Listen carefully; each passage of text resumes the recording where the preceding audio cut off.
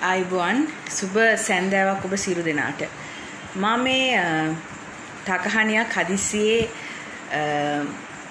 Live video එකක් කරන්න පටන් ගත්තේ විශේෂ නිවේදනයක් ඔබ සිරු දෙනාට කරන්න.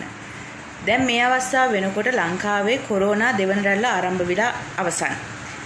කොරෝනා කියන වසංගතේ මීට මාස ගානකට කලින් ලංකාවට එන්න කලින් ලෝකේ වසංගතයක් විදිහට හඳුනාගත්තට පස්සේ පළවෙනියටම පාර්ලිමේන්තුවේ මේ පිළිබඳව හඬක් නැගුව එකම කෙනා සජිත් ප්‍රේමදාස මැතිතුමා.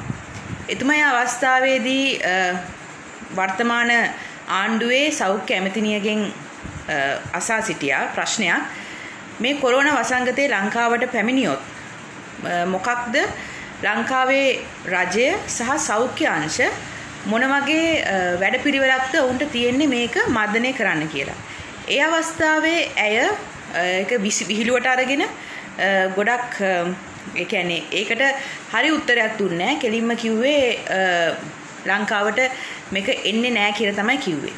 ඊට පස්සේ ටික කාලයක් යනකොට ලෙඩ්ඩු 30ක් වගේ හම්බ වෙනකොට රාජ්‍ය නායකයා කිව්වා මේ ලෙඩ්ඩු 30ක් වගේ හම්බ වෙනකොට මේ රට වහන්න අපිට පිස්සුද කියලා. එහෙම කොහෙද රටක් වහන්නේ කියලා. කොහොම හරි අපේ සියලු දෙනාගේම යම්කිසි අවාසනාවකට මේ මහා මුහුදෙන් වටවෙච්ච රටට දූපතට කොරෝනා කියන ආසාදනය ආවා. මේ වෙනකොට 11කට ආසන්න ප්‍රමාණයක් මරණයට පත් වෙලා තියෙනවා. දැන් 2500ට වඩා වැඩි රෝගීන් ප්‍රමාණයක් හඳුනාගෙන තියෙනවා. දැන් ගැටලුව තියෙන්නේ කවුරු කොයි විදිහට කොහොම කිව්වත් මේ අවස්ථාවේ කොරෝනා දෙවන රැල්ල දැන් ලංකාවේ පටන් අරන් තියෙන්නේ. අපි හැම අවස්ථාවකම විපක්ෂයක් විදිහට ඉන්න සෑම අවස්ථාවකම අපි කිව්වා කරුණා කරලා මේ මැතිවරණේ තියන්න එපා කියලා. මැතිවරණේ තියන්න එපා කියන සෑම අවස්ථාවකම ආණ්ඩුව කිව්වේ අපි මැතිවරණ වලට බය නිසා මෙහෙම කියනවා කියලා. ඇත්තටම අපි හැම කෙනාටම දරුවෝ ඉන්නවා අපි හැම කෙනාම ඊටමත් මේ මේ අපි අපි හැම කෙනාම ආරක්ෂා විය යුතුයි. ඉතින් මේ සියලු කාරණා නිසා තමයි අපි විපක්ෂයක් විදිහට සැරින් සැරේ රජයට ආණ්ඩුවට බල කරේ මේ මේ වෙලාවේ හදිසියේ මේ ඡන්දයක් තියන්න කිසිම අවශ්‍ය අවශ්‍යතාවයක් නැහැ කියලා. මොකද නිකන් ඔබ කල්පනා කරලා බලන්න තව කෙනෙක්ව මැතිවරණයෙන් ජයග්‍රහණය කරන්න ඔබ මාස්ක් පැළඳගෙන මේ මීටරේ දුර තියාගෙන රිස්ක් එකක් අරගෙන. කියන්නේ තමන්ගේ ජීවිතය පිළිබඳ අවධානමක් අරගෙන රටේ ජනතාව අපි පෝලිමේ හිටවනවා මැතිවරණයකට ඡන්දේ දාන්න. ඉතින් ඇත්තටම මේක වැරදි නිසාද අපි මුල ඉඳන්ම කියා සිටි. හැබැයි මේ පෙනෙන විදිහ හැටියට මේ ආණ්ඩුව තව සති දෙකකින් තුනකින් පවත්වන මැතිවරණය අවසන් වෙන තෙක් මට සැකයක් තියෙනවා මොවුන් ඇත්තටම මේ මේ අන විදිහටම රට අරගෙන යයි කියලා. ඉතින් ඇත්තටම අපි ඉල්ලා සිටින රජයෙන් කරුණා කරලා දැන්වත් ජනතාව ගැන හිතන්න. මොකද මේ ළඟ දවසක සෞඛ්‍ය ඇමතුමිය කියනවා කොරෝනා දෙවන රැල්ලක් ආවොත් එහෙම පහසුකම් සපයන්න තරම් මුදල්වත් අඩුම ගානේ නෑලු. කොවිඩ් අරමුදලට රුපියල් බිලියන එකටත් වඩා වැඩි මුදලක් මේ අවස්ථාව වෙනකොට ලැබිලා තියෙනවා. තොරතුරු දැනගැනීමේ පනතක් මේ ලංකාවේ තියෙනවා. අපි ඔබ සියලු දෙනාටම අයිතිය තියෙනවා කොවිඩ් අරමුදලට මේ අවස්ථාව වෙනකොට මුදල් කොච්චරක් ලැබිලා තියෙනවද? ඒකෙන් මොන මොන දේවල් වලටද වියදම් කරලා තියෙන්නේ? මොන විදිහටද අපි මේ ටෙස්ටිං කිට්ස්ද මොනවාද අරගෙන තියෙන්නේ? මේ හැමදේම දැන ගැනීමට අපි ඔබ සියලු දෙනාටම අයිතිය තියෙනවා පුරවැසියන් විදිහට ඒක රජයෙන් කිසිම අවස්ථාවක එළියට දෙන්නේ නැහැ. ඉතින් මේ සියලු කාරණා එක්ක විශාල ගැටලුවක් තියෙනවා. දැන් වෙනකොට රටේ මිනිස්සු ලොකු අවධානයක ඉන්නවා. දැන් මේ වෙනකොට අපි මේ ෂෙඩියුල් කරගත්ත. එහෙම නැත්නම් අපි ඉස්සරහට වැඩසටහන් හදාගත්ත මැතිවරණ මේ කණ්ඩායම් රැස්වීම් තියෙනවා. එතකොට නොයෙකුත් විදිහ රැස්වීම් අපි සකස් ඉස්සරහට වැඩසටහන් හදාගෙන තියෙනවා. එතකොට මේ වැඩසටහන් දැන් එක්කෝ ගේන්න ඕනේ යම් කිසි විදිහකින් පණිවිඩයක් දෙන්න ඕන නිවේදනයක් දෙන්න ඕන රජයෙන් මේ සියලු වැඩසටහන් මේ සියලු මහජන රැස්වීම් නවත්තලා දාලා අපි මේක කල් දානවා හරි මොකක් හරි කියලා. මොකද මේ තව දැන් ඊ අද දවසේ මේ මොහොත වෙනකොට අද දවසට මේ මොහොත වෙනකොට රෝගීන් 90 දෙනෙක් හොයාගෙන තියෙනවා කොවිඩ් හැදිලා කියලා. එතකොට අද රෑ වෙනකොට මේ 90 සමහර විට 100 පන්නන්න පුළුවන්. එතකොට අපි කොච්චර කිව්වත් අපේ රටේ ජනතාව ප්‍රශ්න එන වෙලාවට මාස්ක් එක පැලදලා ඒ විදිහට හිටියත් පස්සේ සතියක් දෙකක් යනකොට හැමෝටම අමතක වෙනවා. ඇත්තටම කියනවා නම් මේ මේ ආණ්ඩුවෙන් මිනිස්සුන්ට මේ ආණ්ඩුවෙන් නැති කරේ. මේ සෞඛ්‍ය අංශ වලින් කොච්චර උපදෙස් දුන්නත් මේ ආණ්ඩුවෙන් නැති කරේ මිනිස්සුන්ට කොරෝනා ගැන තියෙන බය මිසක් කොරෝනා නෙවෙයි. ඒක මුලින් අපි තේරුම් ගන්න ඕනේ. පටන් ගත්ත දවසේ ඉඳන් කොරෝනා රෝගීන් මෙච්චර හම්බුණා මෙච්චර හම්බුණා කියලා බ්‍රේකින් නිවුස් ගහලා ගහලා ගහලා මේක සාමාන්‍යකරණීය කරගත්තා. දවසකට අපි මුලින් පටන් ගන්නකොට ඔබ ඔබම කල්පනා කරලා බලන්න කොරෝනා රෝගීන් එකේ සිට 10 දක්වා වැඩි වෙනකොට අපි කොච්චර බය වුණාද?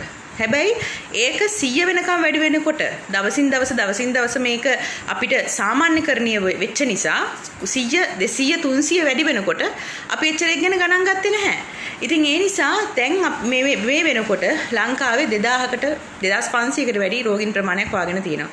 අපි ඇත්තටම සිරසනාම ආචාර කරනවා මේ වගේ විශාල වගකීමක් කරමතට අරගෙන වැඩ කරන මේ වෛද්‍යවරුන් හෙද සේවිකාවන් සහ ත්‍රිවිධ හමුදාවේ ඉන්න නිලධාරීන් පිළිබඳව අපි විශාල ගෞරවයක් අපිට දෙනවා අපි සිරසනම ආචාර කරනවා.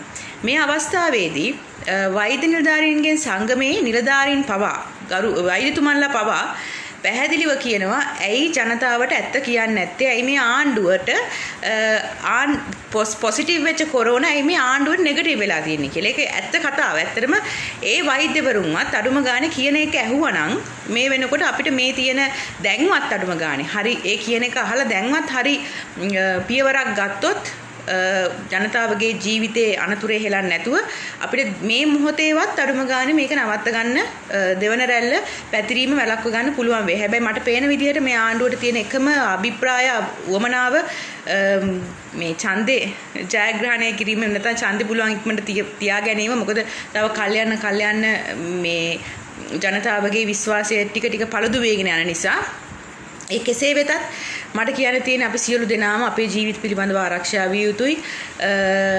ඒ නිසා මම මේ ජනත බලන් ඉන්න ජනතාවගෙන් ඉල්ලා සිටිනවා දේශපාලඥයෝ කොයි විදිහට මොනා කිව්වත් ඔබ ලෙඩ වුණාම දවස් 14ක් නිරෝධායනයට යවුවම ඔය කවුරුත් එන්නේ ඔබව බලන්න. ඒ නිසා තමන් තමන් ගැන මුලින් හිතන්න. ඔය කවුරු කොයි විදිහට මොනාවලට එන්න කිව්වත් ඔබ දෙපාරක් හිතන්න. ඔබට ඇත්තටම අවශ්‍යතාවයක් තියෙනවා නම් යන්න මාස්ක් එක පළඳන්න, මීටරේ දුර තියාගන්න. පරණ අපි අපි මොනා වුණත් මේ තරම් ඉක්මනට බේරුනේ ගිය සැරේ පළවෙනි රැල්ලෙන් අපි අපි හැමෝම එක රටක් විදිහට එක ජාතියක් විදිහට අපි සියලු දෙනා සහෝදරයෝ විදිහට අපි කියන එක ඇහුවා. ඒ කියන්නේ අපි මුල් කාලේ බය අපේ ඇඟට අපි හැමදේම ඒ කියන විදිහට කරා. හැබැයි සතියක් දෙකක් යනකොට මාස්ක් එක බෙල්ලට ගියා.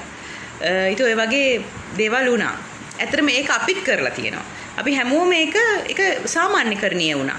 හැබැයි දැන් පොඩ්ඩක් අපි කල්පනා කරන්න කාලය ඇවිල්ලා තියෙනවා. මම ඉතාමත් ගෞරවයෙන් ඉල්ලා සිටිනවා සියලු දෙනාගෙන්ම පළවෙනි තමන්ගේ ජීවිතය ගැන සිතන්න, තමන්ගේ ආරක්ෂාව ගැන හිතන්න, ඒ වගේම අපි බල කරමු පුරවැසියන් විදිහට. සියලු පක්ෂපාත ભેදකින් තොරව පුරවැසියන් විදිහට රජයට බල කරමු. දැන්වත් හරි කෙලින් තීරණයක් ගන්න මේ මැතිවරණයක් මේ හදිස්සියේ පවත්වනවද නැද්ද කියන එක පිළිබඳව තීරණයක් ගන්න කියලා.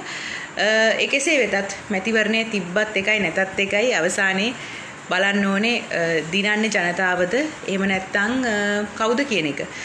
ඉතින් ඒ නිසා අපි මම නැවත නැවතත් පැහැදිලි කරන සමගි ජන බලවේගයේ විදිහට වර්තමාන විපක්ෂයේ විදිහට අපි නම් ඇත්තට මැතිවරණ වලට කිසිම බයක් නැහැ. බයක් හින්දා කියනවා නෙවෙයි. අපිත් ලෑස්ති වෙලා තමයි ඉන්නේ. හැබැයි ඒ වුණාට මේ වෙලාවේ ජනතාවගේ ජීවිතයට මේ වගේ රිස්ක් එකක් දෙන එක එච්චර සුදුසු නෑ කියලා තමයි මට හිතෙන්නේ. ඉතින් මට මේ කාරණා ටික තමයි කියන්නේ. දැන් කවුරු හරි කියනවා නම් මේ වෙලාවේ කොරෝනා තාම මේ නැහැ කියලා දැන් දෙවන රැල්ලක් ඇවි එන්න අපි ඉඩ තියන්නේ නැහැ කියලා මම සමහරක් කට්ටිය කියනවා දැක්කා. දැන් දෙවන රැල්ල පටන් අරන් ඉවරයි. දැන් තව දවස් 7ක් 10ක් යනකොට මේ අපි හොයා ගන්නා වගේ දෙගුණයක් තෙගුණයක් රෝගීන් අපිට සොයා ගන්න වෙයි. ඉතින් මගේ ඉල්ලීම අපි දේශපාලනත් කළ යුතුයි තමයි මැතිවරණත් කළ යුතුයි තමයි හැබැයි ඒකට මේ අවස්ථාව නෙමෙයි හැබැයි රජයේ ඒ තවමත් ඉන්නවනම් මැතිවරණයක් කරන්න ඕනේ කියන තීරණේ අපි සියලු දෙනාම පරිස්සම් වෙමු.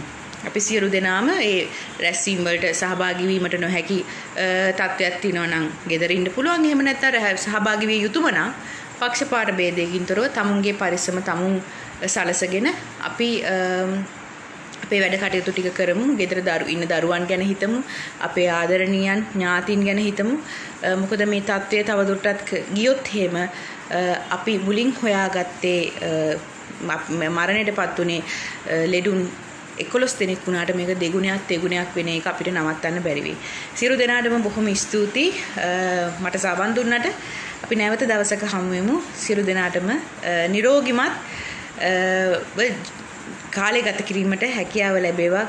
අපි තුන්වරක් බුදුන් වැඩම කරපු මේ රටේ අපි සියලු දෙනාටම ත්‍රිවිධ රත්නයේ ආශිර්වාදය ලැබිලා කිසිදු රෝගයක් වසංගතයක් වසංගතයකට අපේ රට ගොදුරු නොවේවා කියලා ප්‍රාර්ථනා කරමින් මම සමුගන්නවා බොහොම ස්තුතියි. මෙවැනි වීඩියෝ දිනපතා නැරඹීමට අපගේ YouTube චැනලය සබස්ක්‍රයිබ් කර බෙල් බටන් එක ක්ලික් කරන්න.